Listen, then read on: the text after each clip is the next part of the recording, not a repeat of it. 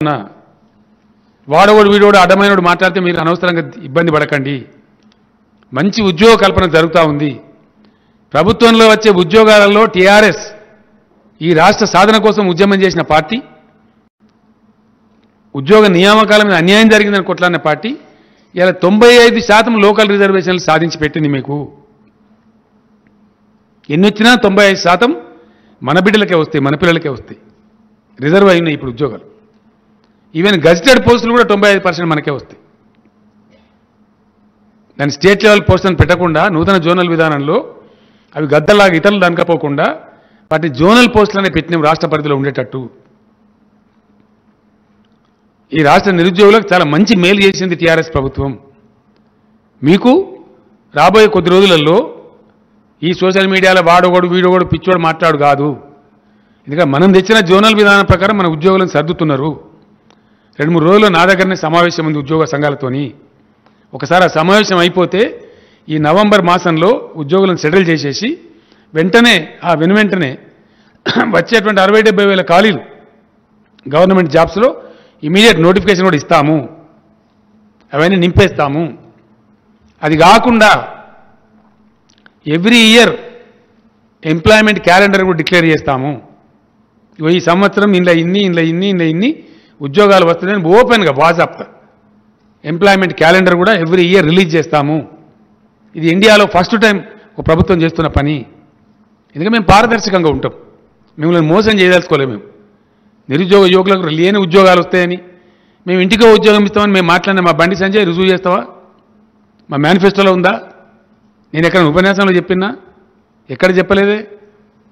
మేము చెప్పనే లే మేము చెప్పని దాన్ని చెప్పినట్టు అది కూడా అబద్ధాలు మాట్లాడతారు.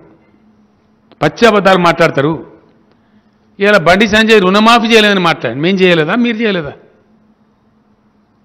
మేము చేయలేదా రుణమాఫీ? పోయిన టర్మ్లో చేస్తామని చెప్పినాం. ఈ టర్మ్లో రెండు దఫాలు చేసినాం. మిగతా చేస్తాం. మేము మొట్టమొదటి చెప్పినాం ఎలక్షన్లో.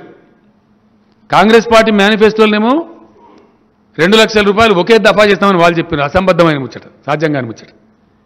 పంజాబ్లో చెప్పింది చేయలే ఛత్తీస్గఢ్లో చెప్పింది చేయలే మధ్యప్రదేశ్లో చెప్పింది చేయలే అబద్ధాలు చెప్పారు వాళ్ళు కాంగ్రెస్ పార్టీ. మేమేం చెప్పినాం? రెండు లక్షలు చెప్పలే మేము ఒకటే లక్ష చెప్పినాం. ఆ లక్ష దశల వారీగా చేస్తామని చెప్పినాం. ఒకటే రోజు చేస్తామని మేము చెప్పలే. చెప్పినామా మేము చెప్పలేదు కదా. దశల వారీగా లక్ష రూపాయలు రుణమాఫీ చేస్తామని చెప్పినాం.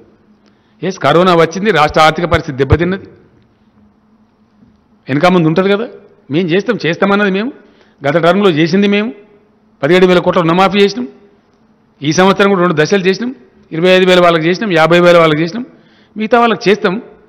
కందగలేని దురద కత్తిపీడకి ఎందుకంటే నీకెందుకు బాధ నాకు అర్థం కాదు? మధ్యలో మీ జోకర్గాల సంగతి ఏంది? ఇచ్చేది మేము తీసుకునేది రైతులు. దాని మీద ఇంట్రెస్ట్ ఉంటే మేము కడతాం. మధ్యలో మీ గీ గీ సొలుపురా అని మాట్లాడేది ఆ? వడ్ల సంగతి చెప్పురా బాబు? అంటే వడ్లు ఇడిచిపెట్టి నేను దొడ్లకెళ్ళి తెంపుకొని పోతా అన్నట్టు. నీ వడ్డలను తెలుస్తాం నీకు అతిపుడిగా. తెలంగాణ రైతుల ముందు మిమ్మల్ని పంచనామా చేసేసి పెడతాం అనుకుంటున్నాము ఎస్ బ్లాస్ట్ చేస్తాం డెఫినెట్గా అరకిరి మాటలు మాట్లాడి అడ్డపోగులు మాట్లాడి తప్పించుకొని పోతామంటే పోనీయం ఈసారి. మెడలు నువ్వు వంచుడుగా మేము వంచుతాం మీ మెడలు. ఈ దేశ పౌరులుగా ఈ దేశంలో భాగస్వాములుగా మీ మెడలు వంచుతాం గ్యారంటీగా. నువ్వు వంచుతావు మెడల్. మేము మంచి చూపిస్తాం నీ మెడల్. అడుగు అడుగును నిలదీస్తాం. ఎస్